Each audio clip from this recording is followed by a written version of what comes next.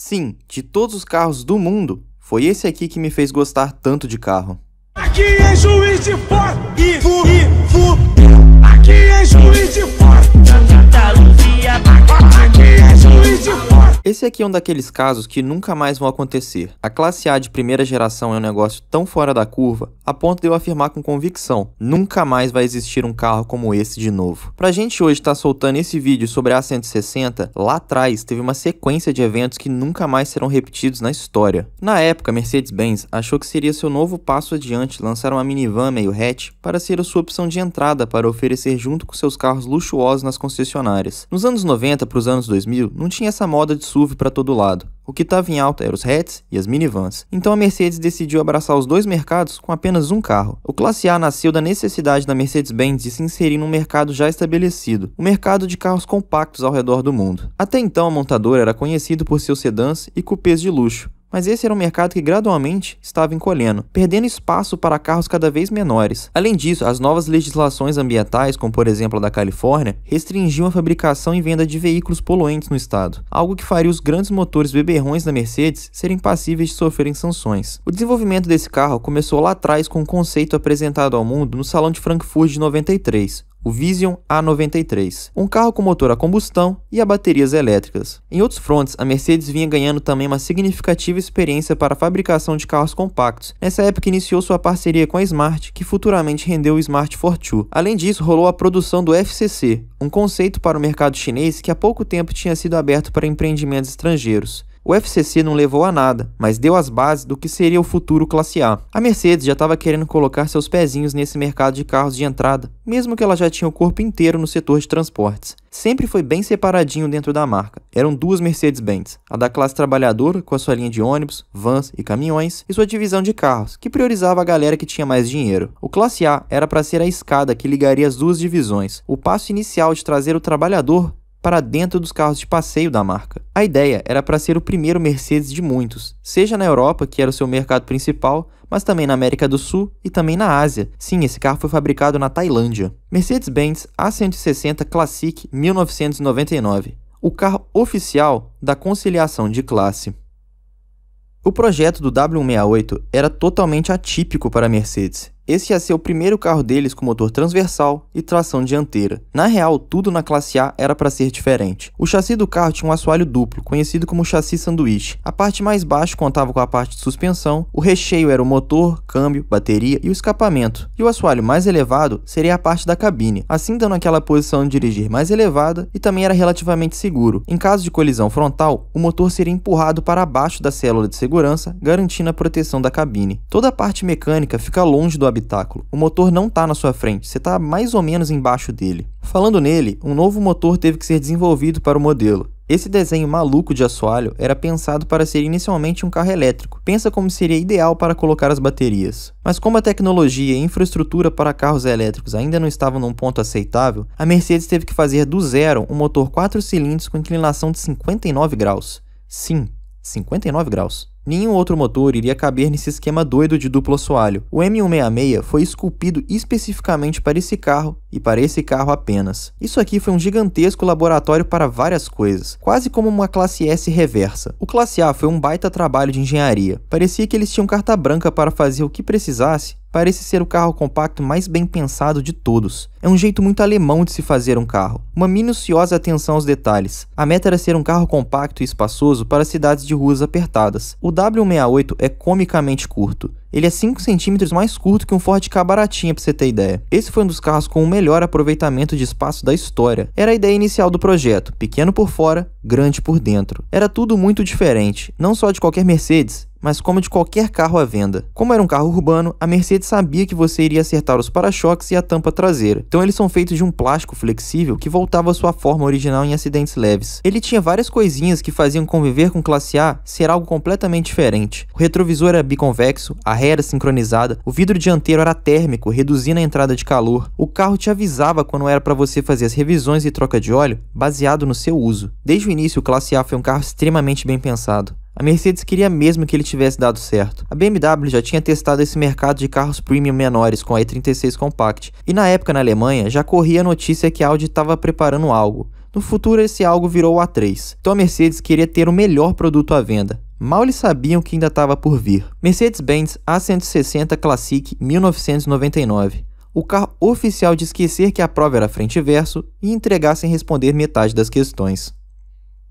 O lançamento do Classe A na Europa está vindo bem. O carro chegou em 97 com relativa aprovação da mídia e dos consumidores, até que uma revista sueca, no dia 21 de outubro de 1997, capotaram um desses aqui no teste do Alce, e desde então a Mercedes nunca mais teve paz. Era um teste de desvio rápido e voltar para a faixa, como se tivesse um alce na pista, coisa comum nos países nórdicos. O Classe A falhou miseravelmente e acabou machucando um jornalista no processo, Logo menos as imagens circulavam e viam que o carro, que era todo pensado para segurança, capotava relativamente fácil num teste como esse. Quem diria que um carro curto, com centro de gravidade alto, pneus finos e suspensão mole, poderia acabar capotando? A Mercedes, no primeiro instante, não queria que seu lançamento, que custou mais de um bilhão de dólares, fosse desmoralizado. Então eles falaram que não era nada e que a mídia estava fazendo drama, quando na real ele estava em full modo crise, com reuniões desesperadas para saber o que fazer com esse problema e pouco tempo depois eles tomaram uma decisão radical: parar a produção e realizar um recall de todos os W68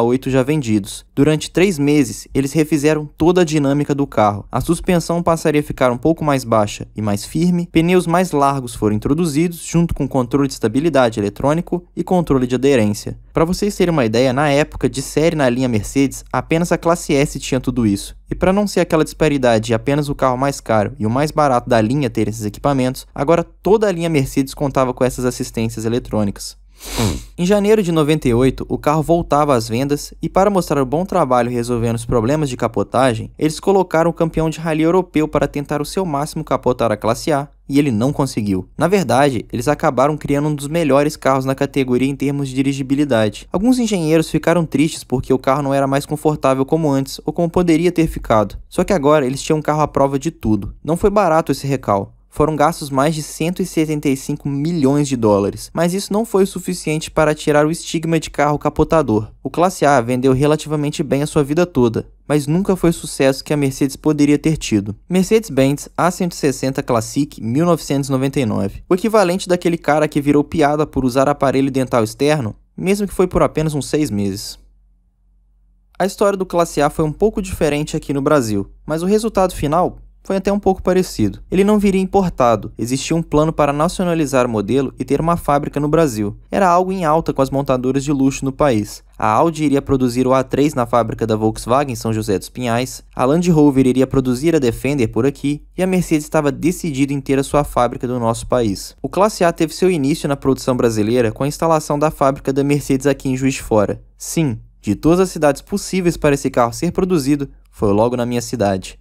A primeira fábrica de automóveis de passeio da Mercedes fora da Alemanha foi logo aqui em Juiz de Fora. Os planos e a montagem da fábrica já começaram em 97 para 98. Sua instalação se deu no ano de 99, durante o governo do então prefeito Tarcísio Delgado, do MDB. A capacidade de produção inicial da fábrica era de 70 mil carros anualmente, mas os problemas não demoraram muito para aparecer. Já no início da sua vida, a fábrica ficou em produção ociosa, produzindo apenas 20% da sua capacidade total. Isso se deveu a alguns motivos, sendo talvez o principal deles o preço. Na época de lançamento, o A160 Classic, a versão mais básica do modelo, saía de fábrica pelo valor de R$ 29.790, o que hoje se traduziria para 136 mil dinheiros via IPCA. Mesmo sua linha de montagem sendo local, várias peças do carro eram importadas, o que somado a uma alta do dólar na época veio a representar um aumento não apenas no custo de compra, como também de manutenção dos carros. Esses carros eram caros para se comprar e caros para se manter desde sempre. Pelo mesmo preço do A160 Classic de entrada como essa do vídeo, você poderia comprar uma Renault Scenic da mais completa, ou sei lá, um Golf sapão de entrada. Dava para comprar muitos carros bons pelo preço dessa Mercedes esquisita. Ele chegou com uma intensa e polêmica campanha de publicidade. Antes de seu lançamento, foram veiculados 12 inserts de 90 segundos durante o programa Fantástico. Durante 12 domingos, em cada programa do Fantástico, o público ficava sabendo mais um pouco sobre o carro. Um anúncio era sobre o motor, outro sobre a segurança, outro era sobre a escolha de juiz de fora, etc, etc. Em 99, no lançamento de fato, foram colocados mais cinco comerciais de TV junto com todos os tipos de ad possível. Não faltou divulgação. O problema é que essa divulgação acabou sendo meio confusa. Dentre os anúncios, o que mais chamou atenção foi o com o slogan Você de Mercedes. Um anúncio mostrando como antes a Mercedes aparecia na sua vida, seja nos ônibus, seja nos caminhões, só que agora, depois de tanto sonhar, você finalmente poderia ter a sua Mercedes. Não à toa ele recebeu o apelido de Baby Benz. Só que isso gerou um problema. As pessoas que tinham carros da marca gostavam porque era algo exclusivo, caro e praticamente fora do patamar do brasileiro médio. Quem era mercedeiro não comprava esse carro. Ok, talvez compraria para suas esposas, mas para eles não fazia sentido. Era a Mercedes que o seu vizinho poderia ter, e se meu vizinho pode ter uma Mercedes, talvez a minha grama não seja a mais verde do bairro. Mercedes-Benz A160 Classic 99, o carro de quem sempre quis uma Mercedes e aprendeu que nem a mais barata era para o bico dele. O marketing foi um pouco falho, o preço inicial era alto, as peças eram caras e algumas já eram raras desde sempre, além da dificuldade que era manter um carro no padrão alemão. Algo que você precisa entender sobre carros alemães versus um carro nacional comum ou um carro japonês é que num carro nacional padrão, ele é feito para rodar com sonhos e esperanças, talvez com o mesmo óleo durante uns 20 anos, com tudo estourado e batendo. O motor Fiasa da Fiat deu certo porque ele foi um motor pensado para rodar na base do ódio. Um carro alemão também roda eternamente mas dentro das condições ideais de fabricação e manutenção. Agora, se algum parâmetro muda, pode ter certeza que vamos ter problemas. E foi o caso desse carro aqui. Ele começou a dar problemas pois ele não se adaptou bem às condições brasileiras. Nunca foi um carro fácil de se manter e isso assustava possíveis compradores. Era um dos carros que na teoria era para ser de fácil manutenção, mas na real é uma das mais difíceis. Alguns trampos, como reparos no motor de arranque, necessitavam quase desmonte completo do motor. Muitos reparos precisavam que o motor inteiro tivesse que sair para fora. A fabricação do Classe A em Juiz de Fora terminou em 2005, com apenas 63.402 unidades. Isso significa que fizeram menos carros em 7 anos do que se planejava para um ano inteiro. A Mercedes queria que fossem feitos 70 mil carros por ano, e não chegaram nisso nem no total. Talvez ter uma fábrica imensa para começar não foi a melhor ideia possível. Tudo bem que foram feitos outros carros como a C230 Coupé ou a CLC, mas foram coisas muito esporádicas, não compensou o custo total da fábrica. Foi um carro que também errou de público-alvo. Eles queriam aquela galera classe média mais jovem, em torno de seus 35, 40 anos, que para o público da Mercedes eram bem mais jovens. Só que ele acabou acertando em cheio no grupo 60 a mais, muito pelo fato dele ser extremamente prático e um carro muito fácil de se entrar e sair dele. Ele era muito espaçoso internamente e com um bom campo de visão. Pessoal mais velho adorava esse carro e muitos adoram até hoje. Quando o Classe A estava para sair de linha, as últimas unidades foram disputadas a tapa segundo a gerência da Mercedes. Quem gostava desse carro, gostava e gostava muito. É justificável, não existia algo similar no mercado, e até hoje é difícil achar algo parecido. A segunda geração do Classe A veio quase como a casquinha de doce de leite do McDonald's. Quando você viu, já foi. Foram menos de 200 unidades vendidas aqui no Brasil. Muitos ficaram órfãos desse carro, que teve seu real sucessor como o Classe B, mas era um carro muito mais caro e muito mais nichado. A vida após o fim das vendas do Classe A é algo meio triste. Conforme os anos foram se passando e os problemas pipocando, esse carro perdeu mais valor do que eu perco boas oportunidades na vida. E rapidinho, muitas pessoas perceberam quão caro ficou para manter esses carros, que logo viraram figurinhas carimbadas nas oficinas e depois nas ruas abandonados ou em desmanches. O preço das peças nunca deixou de ser alto, mesmo com a redução no valor do mercado de usados. Fora que se tinham peças difíceis já de se encontrar na época, Fora dela, ficaram quase impossíveis. Qualquer batidinha de leve nesse carro já virava PT. Não à toa hoje é praticamente impossível achar uma W168 em boas condições. Mercedes-Benz A160 Classic 1999. O que já era difícil, ficou mais ainda. Não tem para onde correr. A primeira geração do Classe A foi um fracasso globalmente. Mesmo que lá fora ele vendeu mais de um milhão de unidades, a Mercedes perdia dinheiro em cada uma delas. Aqui o fracasso foi mais feio. O carro foi um grande prejuízo para a Mercedes, mas assim, não era algo não esperado. Ele veio de Juiz de Fora, a cidade onde nada dá certo. Sei que falar mal de Juiz de Fora é o esporte favorito do juiz forano, mas são muitos os casos para não perceber uma constante. O nosso time da cidade, o Tupi, nunca despontou no futebol. A maior glória foi de ter sido campeão da Série D em 2011 e de ter chegado na Série B em 2016. Hoje o Tupi amargura o módulo 2 do Mineiro. O time de vez em quando era abraçado pela torcida local. O Forano Médio tudo torce para time do Rio e esqueceram do time local. Só que eu sei que vocês lembram do jogo contra o Asa de Arapiraca em 2015. Era o jogo que iria levar o time para a Série B. Eu tava lá no estádio, mano. Foi um dos raros momentos que a torcida representou, mano. Sério, tava difícil chegar no Mario Helena, mano. O negócio tava lotado. Depois disso o time acabou sucumbindo. Caiu da Série B para C para D, até ficar sem divisão. Nossas atrações locais, sempre no final, acabam fechando e durando pouco tempo. Os pontes sempre mudam, e eu acho que o caso mais icônico disso é o Bar Redentor. O tradicional barzinho que ficava no local onde hoje é o prédio da Unimed, na Rio Branco, do lado da catedral. Era de fato um local pequeno, mas cheio de histórias, mano. Uma das suas quatro mesas ficou conhecida como a mesa funerária pelo simples fato de três pessoas terem literalmente morrido após saírem do bar estando sentadas naquela mesa. Era um local folclórico, trazendo o povo junto em um só lugar, mano. Como um dos grandes acasos da vida, o bar fechou em 1987, sendo demolido junto de outras edificações locais para dar espaço a um edifício comercial que está lá até hoje. A mudança é inevitável e várias vezes aqui a gente já criticou esse apego à nostalgia. Mas nesse caso, o que, que a gente ganhou? Um prédio da Unimed, em troca de um lugar que era um espaço cultural de lazer para todo mundo. Era um lugar onde os ricos, os pobres, os jovens, os velhos, os revolucionários e os conservadores estavam lá frequentando e fazendo história. Tem um vídeo excelente contando o último dia desse bar. Eu vou deixar ele aqui para vocês verem porque realmente mostra o espírito da cidade que foi perdido para mais um empreendimento de grande porte. Tantas casas, bares e outros locais interessantes nós perdemos para virar lojinhas ou prédios toscos. Nem mais boliche a gente tem nessa cidade. Quem aí lembra do Pizza Bowling? que hoje nem sabe mais o que virou, só sabemos que fechou e faliu. Nós perdemos muitos lugares icônicos ao longo dos tempos. Os mais novos, como eu, não vão lembrar do Bar Redentor, mas do Crismar eu sei que vocês lembram. O bar que salvava os rolés. Às quatro da manhã você sentava ali 100% doidaraço para poder comer um quibe deliciosamente insalubre com seus camaradas no fim da noite. Ali você sentava e via o caos que era o São Mateus às quatro da manhã. Hoje o Crismara fechou e eu nem sei mais o que virou. Mercedes-Benz A160 Classic 99. O carro da cidade que dorme cedo. Tudo aqui na cidade tende a falhar. Como por exemplo, fomos a única cidade que tentou botar um fim no Bolsonaro enquanto ainda era tempo, mas até nisso a gente falhou. Fato curioso, minha irmã trabalhava naquela riachuelo da esquina onde foi a facada. Ela estava lá no dia e disse que foi um negócio muito caótico e esquisito. E o mais curioso, essa riachuelo também fechou depois de um tempo. Nem para ser um ponto turístico o negócio serve. Isso é algo comum de Juiz de Fora, uma cidade de quase 600 mil habitantes com uma economia baseada na área de serviços. Nada aqui dura e praticamente nada floresce e cria raízes. O restaurante do cara que ganhou o Masterchef também fechou tudo aqui tem prazo de validade. Juiz de Fora também é conhecida como rival da arquitetura e do bom gosto. Aqui temos os prédios mais feios do Brasil, como por exemplo esse prédio marrom com vidros rosas espelhados. Tem uma lista de prédios mais feios da cidade. Eu vou tentar achar essa lista para vocês, e aí vocês vão perceber as atrocidades. E sendo honesto, se tivesse a premiação anual da cidade mais fubanga, Juiz de Fora iria sempre estar tá ali nas cabeças. Nosso evento anual principal é a Festa Country. Toda modinha de classe média chega eventualmente por aqui. Juiz de Fora também é uma cidade de grandes dualidades. Do mesma forma que temos os prédios mais feios, também temos um prédio saído diretamente da prancheta de talvez um dos maiores arquitetos da história, Oscar Niemeyer. Se trata do prédio do Banco do Brasil, na rua Alfred, com esquina com a Getúlio Vargas. Talvez hoje ele possa passar despercebido, mas não tem como achar pelo menos interessante sua arquitetura, considerando que o prédio foi feito em 1941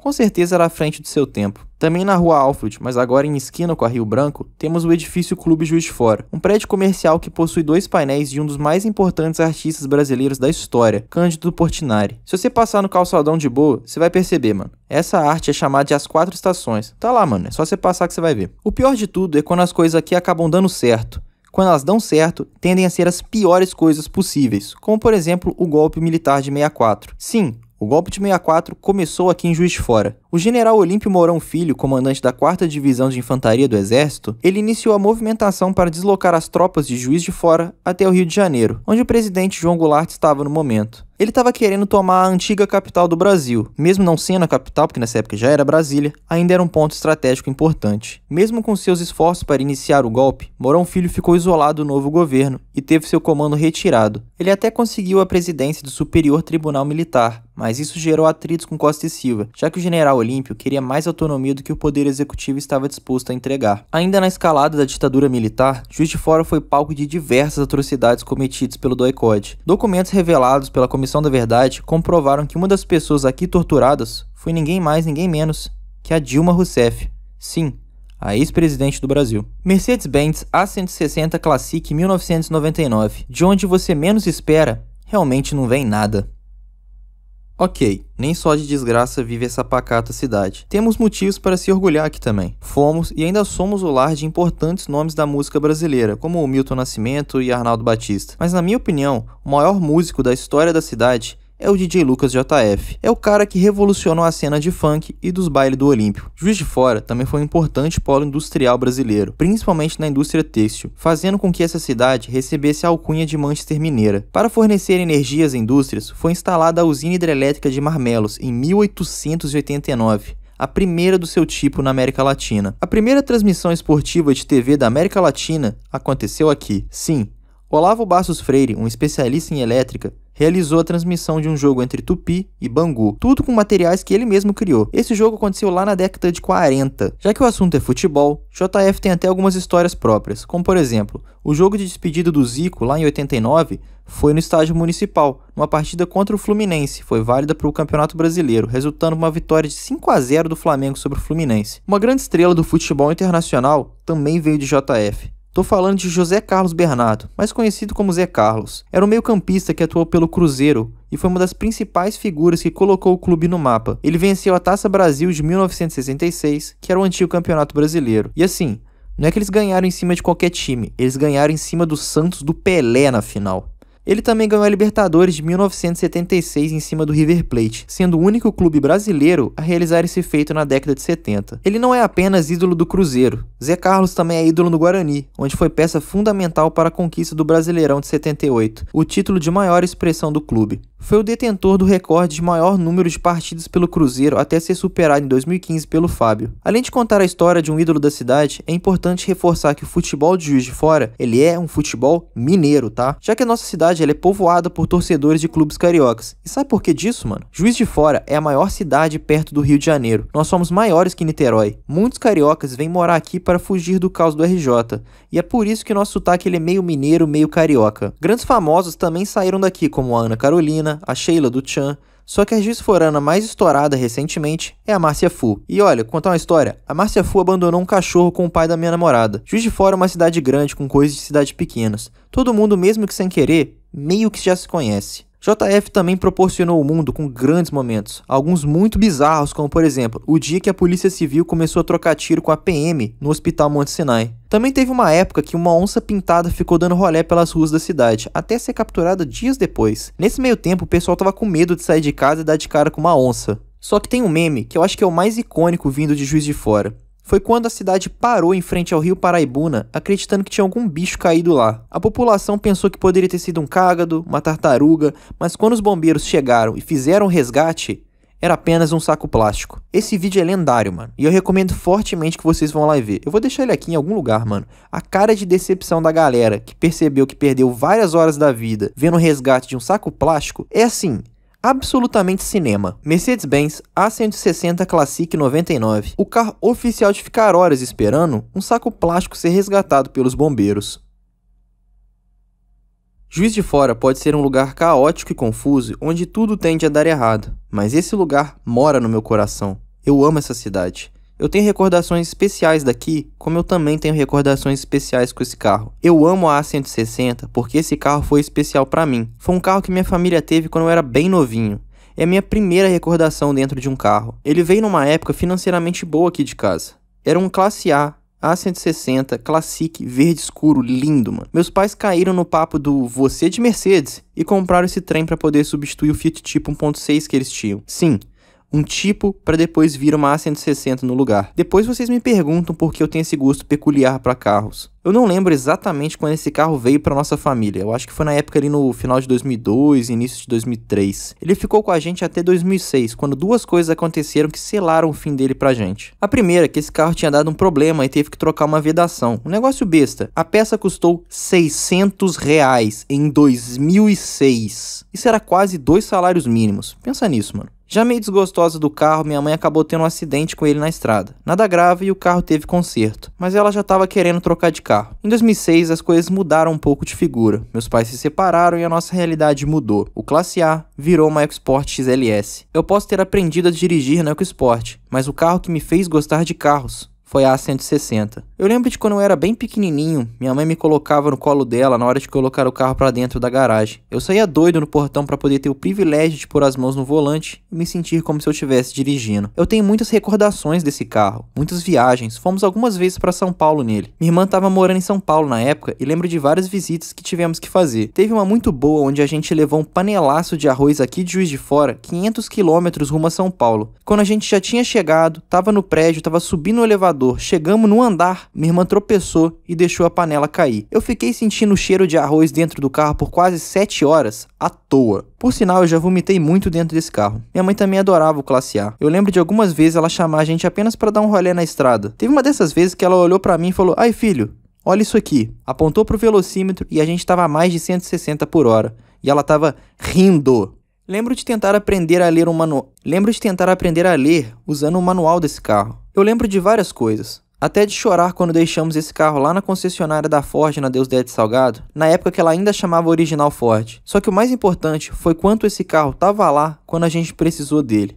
Ele tava lá. Ele carregou a gente por momentos duros da vida, mas também carregou para momentos bons. Lembro de ir com meu pai na fábrica da Mercedes para fazer uma revisão no carro. Na época, na fachada da fábrica, tinha tipo uma obra de arte que eram vários chassis do Classe A, meio que pintados e flutuando. Eu não conseguia achar imagens disso, mano, mas eu lembro vividamente de ter vários chassis do Classe A pendurados assim, e todos eram pintados meio de roxo, amarelo. Mano, se alguém tiver uma foto disso, pelo amor de Deus, me manda. Eu tenho certeza que não é delírio meu. Lembro também dessa vez que eu fui na fábrica pegar umas calotas do Classe A no lixo. As novas custavam muito caro, e eu lembro que tinham várias ali no descarte. E o pessoal da fábrica deixou a gente pegar de graça, mano. E eu lembro da primeira vez que eu fui na feira da Avenida Brasil. A gente achou uma chave canivete de classe A à venda por 15 reais e o vendedor não fazia ideia de como ela apareceu ali. Depois que esse carro foi vendido, eu lembro de ter visto ele apenas uma vez, mano. Vi ele quando eu tava saindo da escola. Eu saí correndo atrás para ver, mas ele saiu zarpando rapidinho e depois disso eu nunca mais vi ele na minha vida. Eu sei que a placa desse classe A era HMS, o resto eu não lembro. Acabou que eu não encontrei nenhuma foto dele. Talvez porque não quiseram guardar muitas recordações dessa época, mas esse carro me marcou tanto que em tempos depois, quando eu ganhei um Play 2 e ganhei Gran Turismo 4, quando eu achei um A160 verde no mercado de usados, meu coração parou e eu quase comecei a chorar. Eu saí correndo para mostrar para minha mãe que o nosso ex-carro estava no jogo. Gran Turismo 4, um jogo que tinha todos os sabores de Skyline e supercarros, mas o carro que eu mais amava ali era o maldito A160. Muitos começaram a gostar de carros por Ferraris, Lamborghinis, mas eu comecei a gostar por causa de uma minivan nichada que tinha fama de bomba. Mercedes-Benz A160 Classic 99, o carro oficial de ir no Carrefour fazer compra do mês e sair na hora que o mercado fecha porque o pastel atrasou.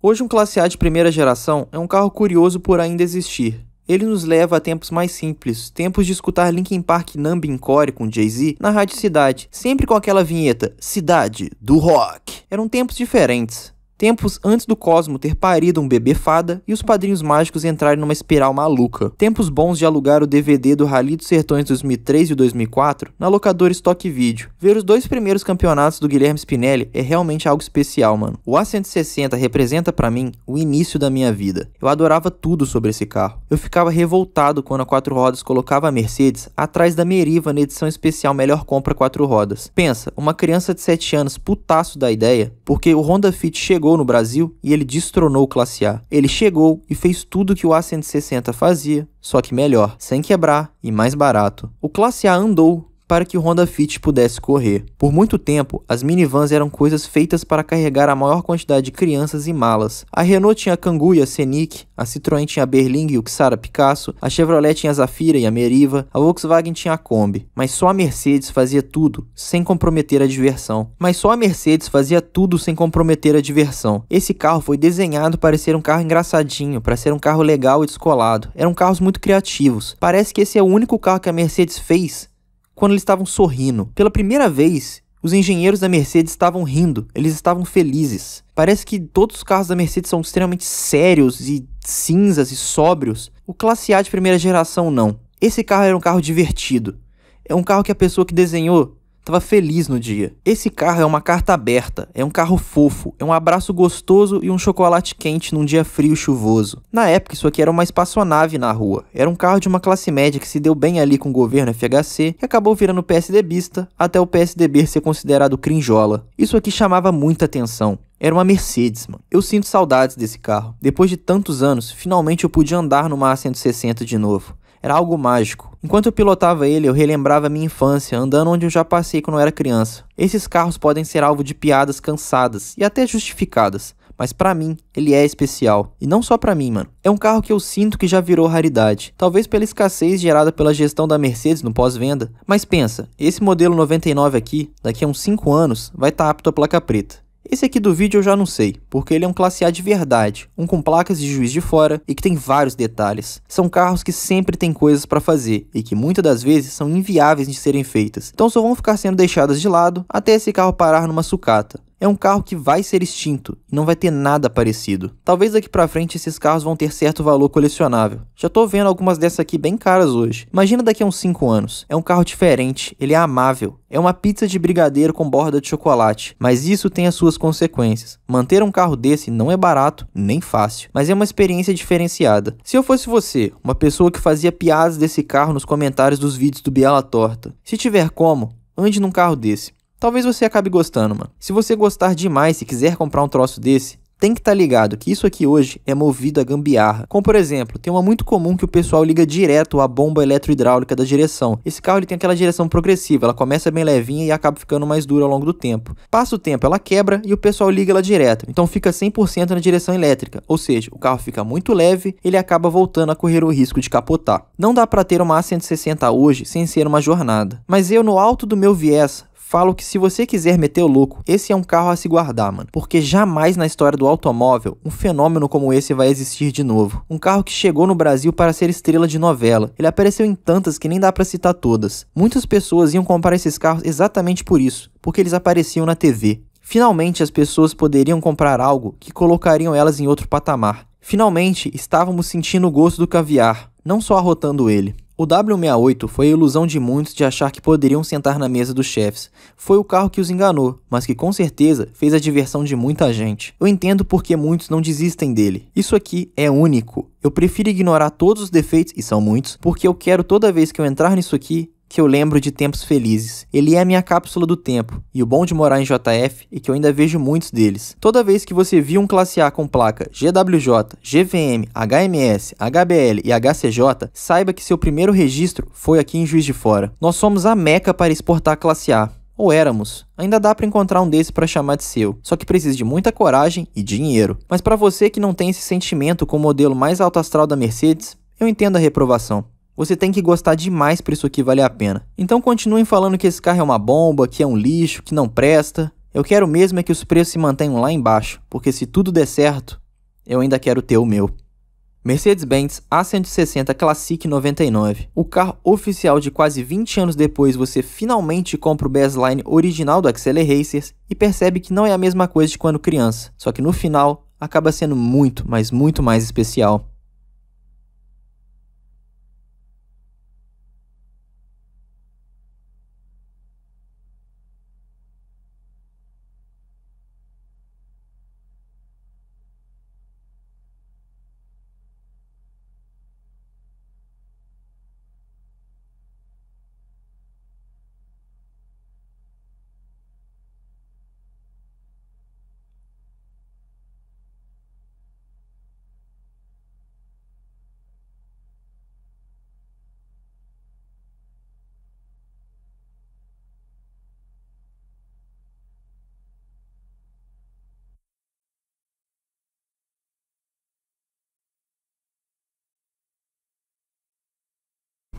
Porque não mexe nada aqui dentro?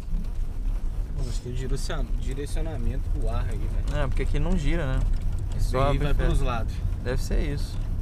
Sim. Ah, ali gira sim, mas... Doideira. Ih, acho que tava engrenando. Xiii. Bota a chave tudo, mano. Agora é ligar, pouco gasolina. Vai, dá uma tela. Não, não, peraí. Vai no tranco. Será, mano? Bota, deixa de segunda, deixa o trânsito descer, na hora que descer solta o pé na embreagem. Solta o pé? Tá com É, pouco uma gasolina e abastecer depois, mano. Uh. Pode, pode, pode baixar o freio de mão, deixa só no freio. deixa os carros embora e na hora que deixa descer um pouco, não tira o pé na deixa descer um Tá. pouco. Eu te falo na hora que você precisar. Demorou, tá de segunda, né? Isso, Deixa de segunda. As manhas. E como ele tá com pouca gasolina e ele tá muito deitado assim, É, Ah. falta tanque. abastecendo e caiu hoje. Ah, brava. Não, acho que a gente vai conseguir Aí fazer. a gasolina não. Sim. Acho que não coisa. Aí se deixar morrer assim, não vai ligar, tá ligado? Deixa aí, deixa aí, deixa aí. Não, Deixa pô, ele, deixa ele, deixa ele não. aí, já tá bom. Agora é só você deixar descer e subir o pé na embreagem. Deixa ele pegar um Aí, embalo. Deixa, deixa, pode ir. Deixa, vai, deixa. Calma, solta não, solta não. Solta. De uma vez só, de uma vez só. Eu fico com dó, Deixa morrer velho. de novo não, mano. Vou deixar. Eu vou ter que abastecer depois. Perdoa, meu camarada. Esse motor é quantas válvulas? Você Ih, sabe? mano, não sei. De cabeça assim, Muitas. Se não for 16, isso aí nem, nem, nem- não faz nem cosquinha no motor pra fazer quantas vezes quiser. Pode esquecer onde tá no celular.